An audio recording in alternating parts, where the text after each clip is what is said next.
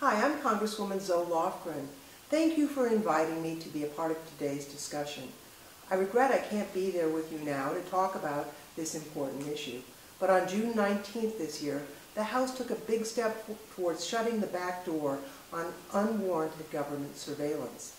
By a massive bipartisan margin, 293 to 123, the House agreed to an amendment that prohibits the government from searching Americans' communication and data without a warrant and from requiring that device manufacturers or service providers create backdoors in their products or services for surveillance purposes.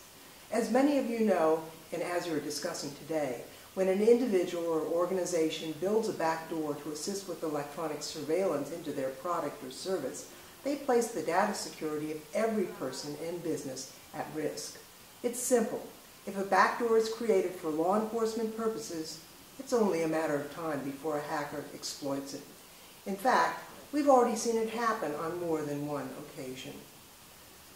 For example, in May of 2014, it was reported that a major security flaw was found in software used by law enforcement to intercept communications that allowed a hacker to listen into any call recorded by the system.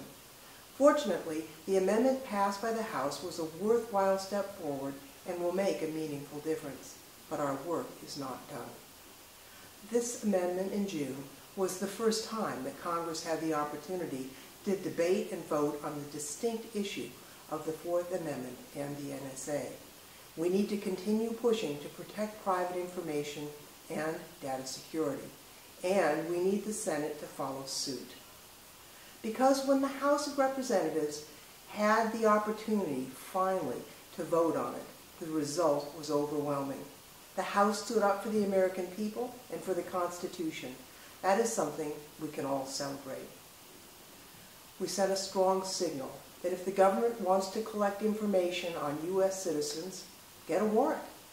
Thank you for your hard work on this important issue, and I look forward to working together with each of you to keep pushing for a safer, more secure Internet.